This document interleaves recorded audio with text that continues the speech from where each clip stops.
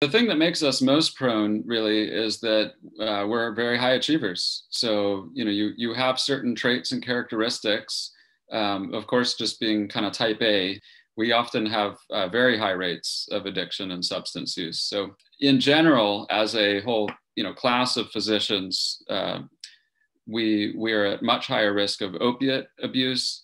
Um, alcoholism tends to be more specific to the specialty and things like that. So, um, the highest rate of any addiction uh, of, of, any field in medicine are female surgeons. Female surgeons are the highest risk. Um, anesthesiologists are, are higher. So a lot of the, the specialties uh, tend to be higher. Family medicine uh, tends to be lower. If you follow some of those things out, um, they, they do point towards the association, not of course being because anesthesia or surgery necessarily you know it, yes the you know surgery can be very high stress but in the research that i've done around this and this includes researching around executives different kinds of high stress environments um, it's not necessarily the stressful environment that is causing addiction. It's that people tend to seek out high stress fields when they have a lot of the precursors that are the setup for addiction? Well, in a nutshell, um, up, an upbringing that is focused on results and achievement, uh, it might also include a lot of criticism, um, things like that. It could be outright abuse and trauma. So, you know, I do see physicians that have had, you know, terrible childhoods.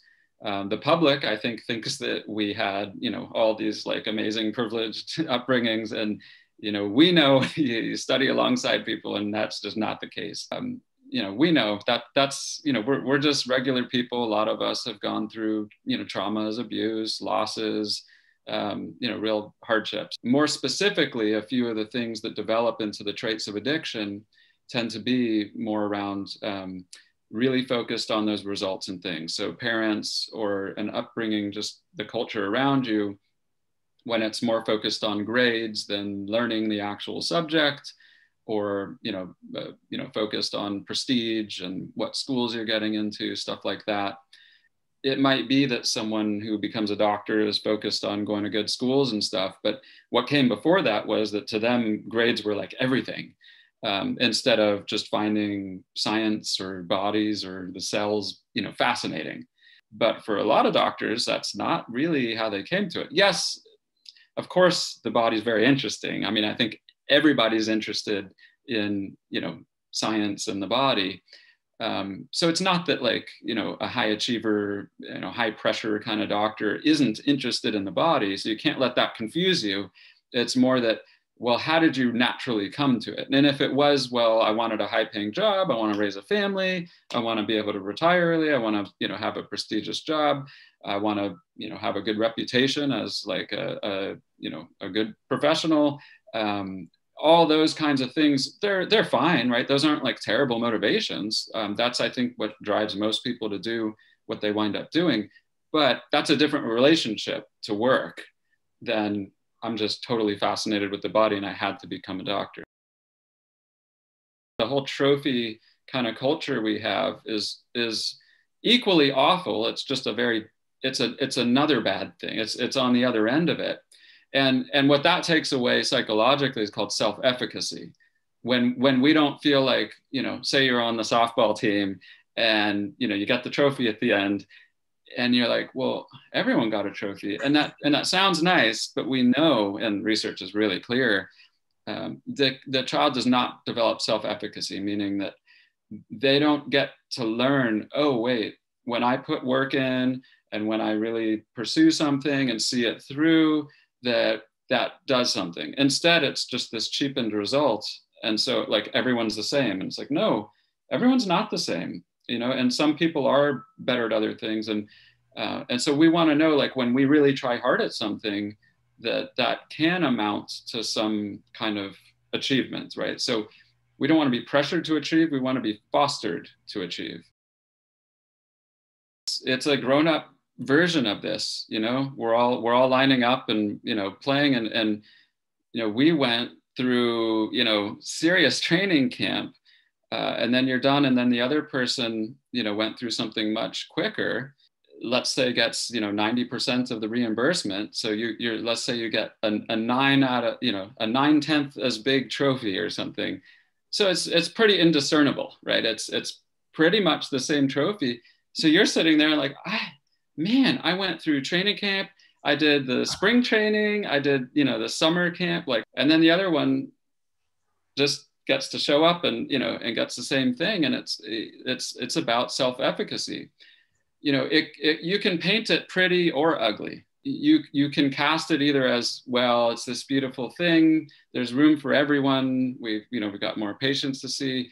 Why are we trying to be competitive? This isn't baseball. This isn't you know just just you know everyone can get this this privilege of treating patients.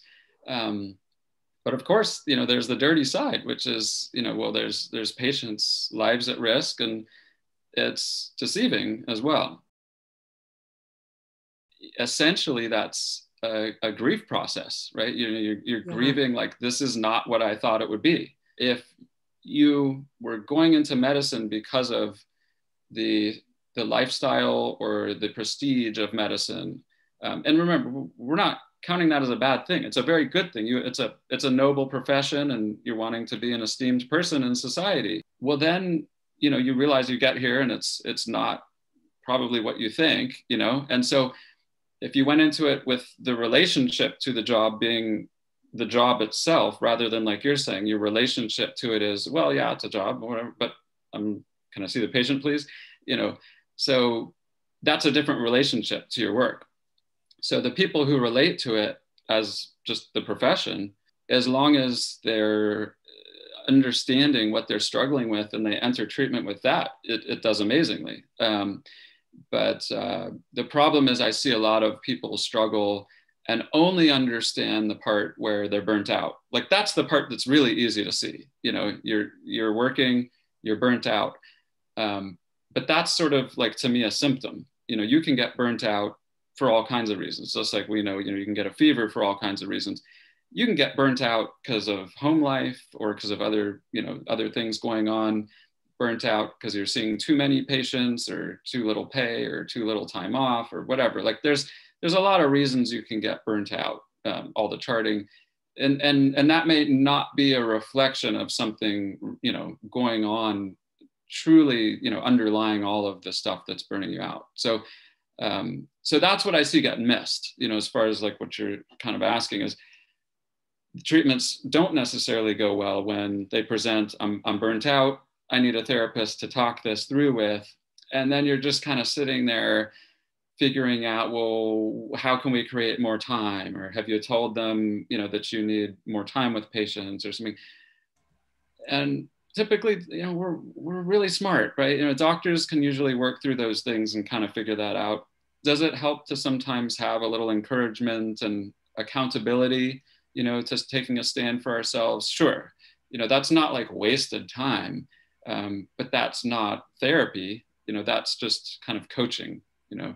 And and i differentiate between those I'll first say, I mean, a, a, very talented, experienced, naturally gifted coach might be doing the same kinds of things an amazing therapist is doing. So, um, that said, for the most part, yeah, I mean, a, a coach is going to have the kinds of trainings that a coach would have, right? The, you know, it's a lot of books and seminars and, you know, retreats and whatever. Whereas, yeah, you know, for me, you know, we can appreciate, you know, talking about the difference between doctors and other providers. Um, we can appreciate the difference, right? So, uh, you know, I, I, think I'm speaking to a, a, an audience that immediately understands the training for a psychiatrist is, you know, on a very different level than for a coach. And so, um, so yeah, a coach would be very good if you're trying to navigate things that rest on logic or illogic you know so um, it's you know it's I shouldn't say illogic the, the logic side. So what am I going to try and change about the practice? What am I going to try and change about the partnership or the ownership or the contract or my home life? And I'm going to try and work out more all my Saturdays are off blah blah blah. So coaches are very good at you know helping set boundaries and helping to kind of give a permission or accountability to things that make sense and that's why there's logic um, a psychiatrist uh, or a very good psychologist um, they're going to be more attentive to uh, process based things and the parts that don't necessarily make sense so why do i keep doing this when I know that it's bad for me? Now that's a that's a psychiatric kind of you know question, or you know, I know I need to do that, but I I I you know can't leave when I know my patients still need help. Well, you know, yeah, you're a helper. We have to look at you know why can you know you need to set boundaries you know you need to leave work and get home to your family why aren't you doing that that's a psychiatric question. Um, and it might not be even that it's like you have full on major depression or you know anxiety. It's just that requires a little more depth of work that's going to really look at things about your childhood things about you know these processes that were programmed very early on um, and your relationship to people to things to like we were saying with work uh, why do you need to help people? Uh, is it you know what what's the idea there? What are you running from? Um, so th- those are more in the space of you know true therapy.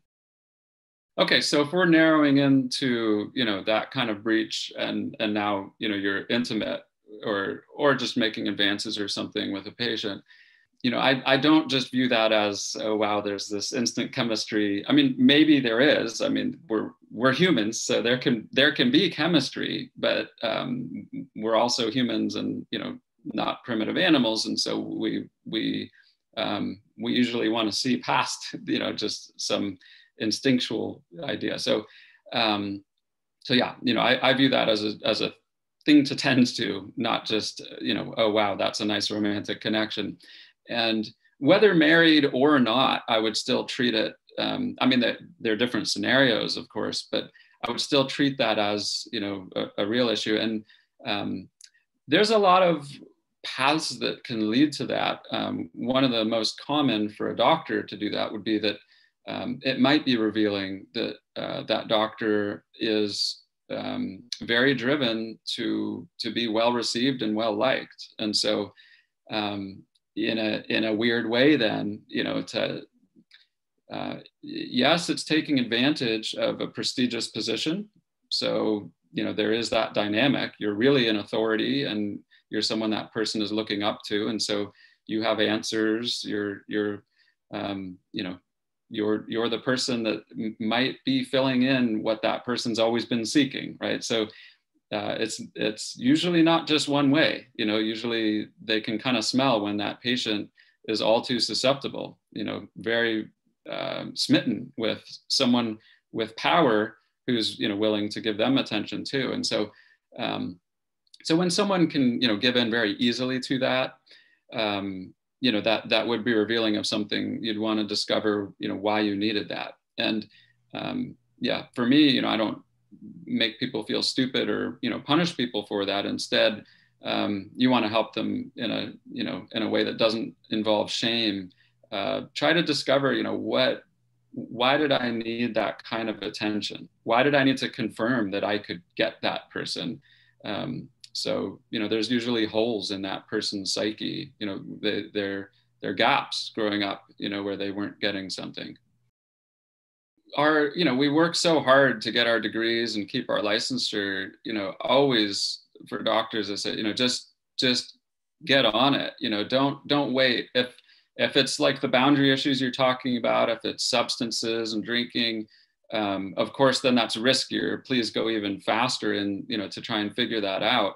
Um, if it's softer things that's when people usually do take too long or never go get help. But um, you know whether you do have something that that you're really worried is going to become you know a licensing issue um, you know in like a board review or not right? And it's just that you know you're, you're getting burnt out and life is just getting increasingly hard. Remember physicians have you know huge rates of suicide. So um, we we want to get ahead of that. That that's what i hope you know for anyone in our field. It's a it's a tough job especially now with all the charting and then we're getting squeezed from every direction. So um, whether you have like a troubled childhood or you were doing fine and now just getting squeezed in in the you know corporate medicine um, just just get in sooner than later. And uh, you know i, I liken good therapy to like physical therapy. I i entered physical therapy because i had a bad hip. Um, at this point now i'm just enjoying always figuring out new things to do for my body that have nothing to do with my hip and so um, that's what I hope for people is you don't just wait and go in for the hip. Don't wait and go in for depression or, you know, someone caught you driving drunk. Go in just because you want to make life better. And that's, that then is bringing some joy to it. It's so much more fun to sit down in therapy and figure out like, my mom did this, my dad did this, and why am I different than my brother? And why, oh gosh, I'm doing that with my kids. And uh, why don't I do anything I like anymore? Like it's fun to figure that stuff out. It it's is. not.